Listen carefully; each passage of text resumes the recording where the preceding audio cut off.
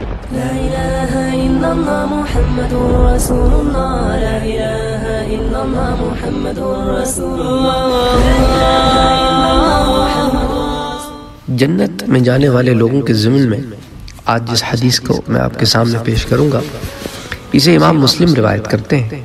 حضرت ابو ایوب انصاری رضی اللہ تعالی عنہ، وہ کہتے ہیں کہ ایک آدمی حضور صلی اللہ علیہ وآلہ وسلم کی خدمت میں حاضر ہوا۔ اور عرض کیا، مجھے کوئی ایسا عمل بتائیے جو مجھے جنت کے قریب اور جہنم سے دور کر دے۔ آپ نے ارشاد فرمایا، اللہ کی بندگی کرو اور اس کے ساتھ کسی کو شریک نہ ٹھہراؤ۔ نماز قائم کرو، زکوٰۃ ادا کرو اور رحم والوں سے تعلق قائم رکھو۔ جب وہ آدمی واپس پلٹا تو حضور اکرم صلی اللہ علیہ وآلہ وسلم نے ارشاد فرمایا جن باتوں کا اسے حکم دیا گیا ہے، اگر ان پر عمل کیا جائے تو جنت میں داخل ہوگا۔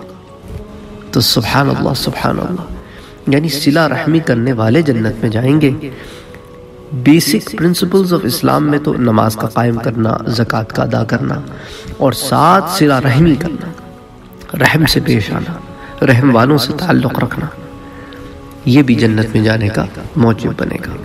اسی طرح خوش اخلاق تحجد گزار، کثرت سے نفل روزے رکھنے والا، دوسروں کو کھانا کھلانے والا، یہ لوگ بھی جنت میں جائیں گے۔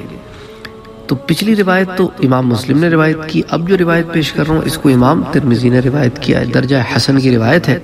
حضرت علی کرم اللہ وجہ کہتے ہیں کہ حضور اکرم صلی اللہ علیہ وآلہ وسلم نے ارشاد فرمایا، جنت میں ایسے محل ہیں جن کے اندر کھڑے ہوں تو باہر کی ہر چیز نظر آتی ہے اور باہر کھڑے ہوں تو اندر کی ہر چیز نظر آتی ہے۔ ایک عرابی نے کھڑے ہو کر عرض کیا عرابی جو ہے نا، گاؤں والا، دیہاتی، بدو۔ تو کہنے لگا کہ، اے اللہ کے نبی صلی اللہ علیہ وسلم، یہ کس آدمی کے لیے ہے؟ تو آپ صلی اللہ علیہ وآلہ وسلم نے ارشاد فرمایا، اس کے لیے ہے جو اچھی بات کرے یعنی اچھے اخلاق سے پیش آئے۔